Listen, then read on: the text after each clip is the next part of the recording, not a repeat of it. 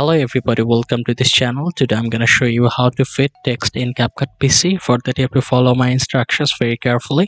Right now you can see that i'm on the editing interface of CapCut PC now i have imported a white background from the library or you can select your particular video just by tapping on the import and just double tapping on it or you can open it from here. And after importing it you have to drag this to the editing timeline.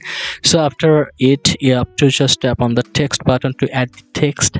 Now if i just drag this default text okay and you have to change the style or color. So i'm gonna change it to this one. Okay now how will i add animation fade in animation or how do i fade this text?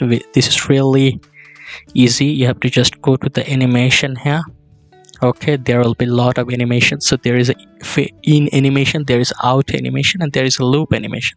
So if you just tap on the in animation there will be a fade in animation here. You can see it here. There is a fade in animation. You have to just download it. You can see.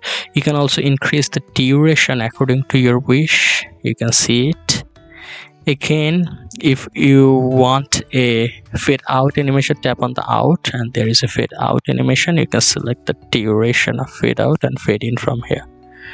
And now let's see how it looks. You can see that this is looking great. What you want.